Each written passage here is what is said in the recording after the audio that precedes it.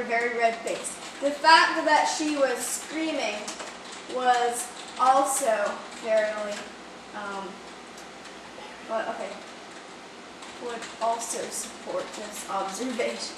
Okay, so I can tell my mom was getting mad just by looking at her very red face. The fact that she was screaming would also support this observation.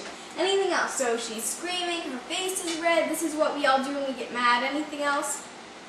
Five. Um, um, I, I could feel she is mad because she is furious. Okay, so she's furious. Maybe we could, instead of saying mad, we could substitute the word furious there.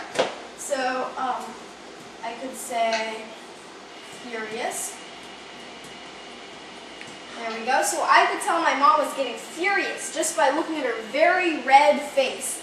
Uh, the fact that she was screaming would also support this observation. Anything else? Okay.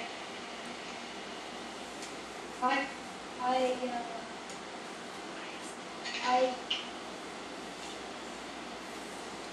What? Maybe her eyes. What's? Uh, what are some other aspects that we do when we Well, get mad? guys do mad. Anaya. um, um, Sorry. my mom was like she did mad after I'm- what? I'm sorry, I didn't hear that.